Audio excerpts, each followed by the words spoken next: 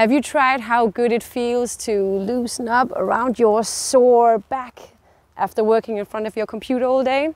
Then you might know why computer back is one of our most popular pleazers. And that is why we've made a completely new one with six new exercises. The concept is still the same. You just press play and follow my lead to work all angles of your back and loosen up sore muscles. So why not try this week's pleazer, Computer Back 2.0.